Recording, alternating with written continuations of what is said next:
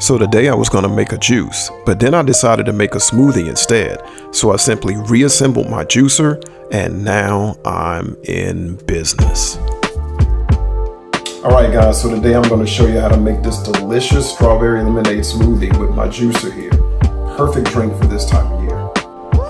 And that's the thing that I love about this Kuvings juicer is that it's so versatile. I can do a lot of different things with it. I can make juices, smoothies, plant milks, as well as sorbets. And all it takes is just switching an attachment like you just saw me do.